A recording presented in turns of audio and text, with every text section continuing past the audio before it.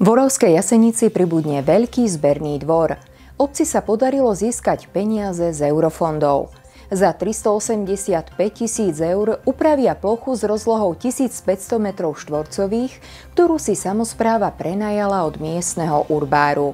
Samozrejmosťou bude aj technika a kontajnery.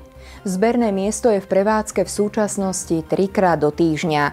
Minimálne takisto bude fungovať aj nový zberný dvor – Obec tu napojí aj kamerový systém a pribudne aj zamestnanec, ktorý bude na všetko dohliadať. Do konca januára by malo byť ukončené verejné obstarávanie na dodávateľov stavby a technológie.